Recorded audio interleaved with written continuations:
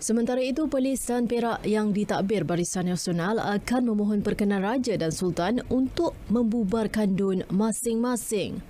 Sementara itu, negeri-negeri yang ditadbir Pakatan Harapan iaitu Negeri Sembilan, Selangor dan Pulau Pinang serta Kedah, Terengganu dan Kelantan di bawah PAS sebelum ini memutuskan tidak membubarkan DUN masing-masing.